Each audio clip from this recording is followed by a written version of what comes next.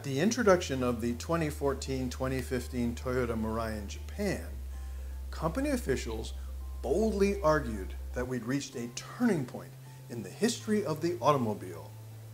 That was a bit of bluster, but forgivable.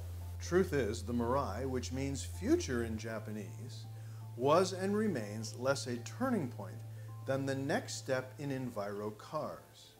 Green cars that make business sense, as well as political and environmental sense. You see, Toyota was working on fuel cell cars as far back as 1992. A fuel cell powered Highlander SUV came in 2002. These and others were prototypes, test vehicles, but they allowed Toyota to log millions of kilometers of testing. Why hydrogen? Why fuel cells? It all makes sense for a Japanese automaker. Japan imports nearly 100% of its oil. The country has been forever dogged by energy dependence. A switch to a hydrogen economy, away from carbon, away from oil, natural gas, and coal, is not just good for the environment, but it's also good for customers and regulators who care and want to act on human-caused climate change. It also moves Japan and Toyota away from a dependence on carbon imports, which have forever plagued Japan's industrial plans and policies.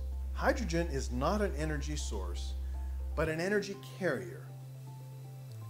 It can be produced through steam reforming, gasification, or electrolysis. And many have argued it should be harnessed to provide power for everything from cars to buildings to spaceships. And so this brings us to the Mirai. The Mirai, to be quite honest, is a demonstration vehicle.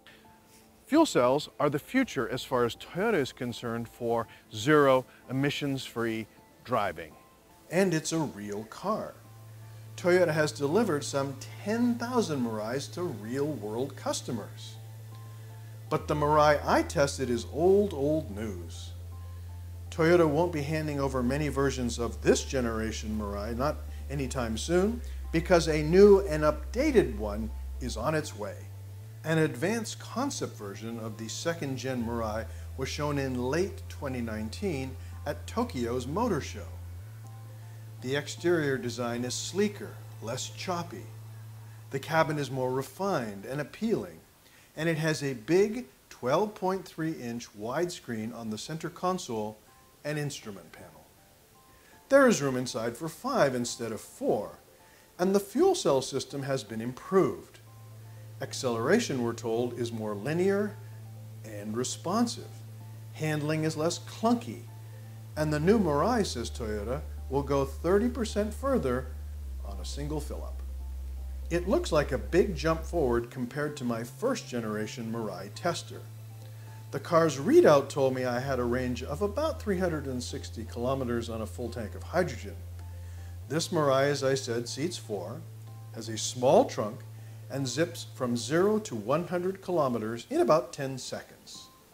Doing so while making almost no noise at all. The Mirai is a pure electric vehicle, but there's no battery pack, no lithium ion array, which requires a lot of cooling. So what's at work under the skin? Well, fuel cell cars like the Mirai have an electric motor driven by electricity created by an electrochemical reaction. The hydrogen, stored on board in robust tanks, mixes with oxygen inside the fuel cell to create electricity, which then combines with hundreds of other cells in a fuel cell stack. The only byproduct is water. The hydrogen tanks are refueled in about three minutes in a manner very similar to filling up with gas or diesel. In concept, it's all pretty straightforward. But integrating high pressure tanks, fuel cells in the stack, the converter, and oxygen supply, and keeping it all cool and safe, then putting the electricity to work through an electric motor, well, controlling the various systems and the power created here requires a lot of software and hardware and even expensive precious metals. Toyota argues that the small stack here tucks neatly below the front seats, lowering the center of gravity and improving handling. The car still feels heavy in driving, and when you climb aboard, it's obvious there is something under the elevated seats. By the way, the water emissions don't spew from a traditional tailpipe. Water emissions are released with this switch. Globally, Toyota has not produced more than about 3,000 Mirais a year. That's for everybody in the world. Ah, but by 2021, the idea here is that the next generation Mirai, Toyota plans to produce perhaps 30,000 or more. That's when we start getting into volume production and the dream of a fuel cell car starts to become something of a reality. Skeptics contend that Toyota is gaming the marketplace here that it's touting fuel cells so that it can really stick to selling traditional internal combustion engine vehicles and hybrids. They argue, well, they argue that the technology is 10 years behind the latest battery electric cars and there is almost no place to fill up with hydrogen. You might be among those who scoff at the very idea of a fuel cell car uh, being mainstream transportation anytime in anybody's lifetime. Uh, Tesla's Elon Musk, for example, calls fuel cells fool cells. Perhaps.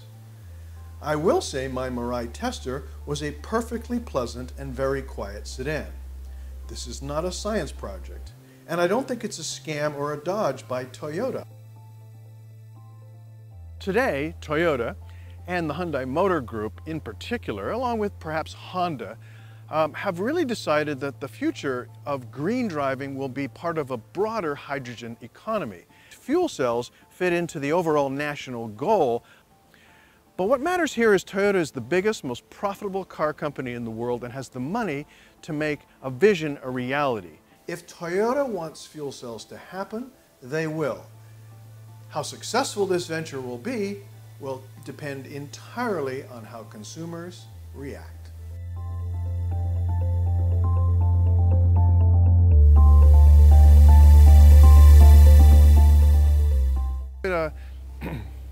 demonstration vehicle, the Mirai. Ooh, there's a truck over there. Toyota has been produced. It's 2020 this year. Uh,